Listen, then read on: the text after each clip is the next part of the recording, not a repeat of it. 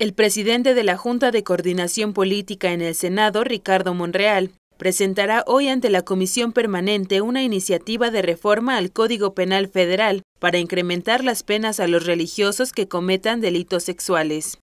En un comunicado, el también coordinador de Morena en el Senado adelantó que propondrá establecer la imprescriptibilidad y aumentar al doble las penas a religiosos que cometan lenocinio y corrupción contra menores.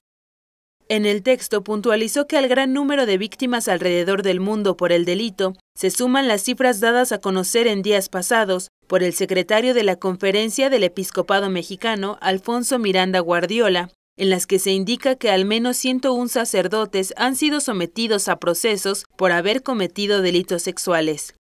Por otro lado, la ONG Child Rights International Network reveló un informe en el cual se muestra que a pesar de que América Latina tiene el mayor número de fieles católicos, están registradas casi mil querellas o denuncias por abusos sexuales, sobre todo en Argentina, México, Chile y Colombia, contra miembros de la Iglesia Católica.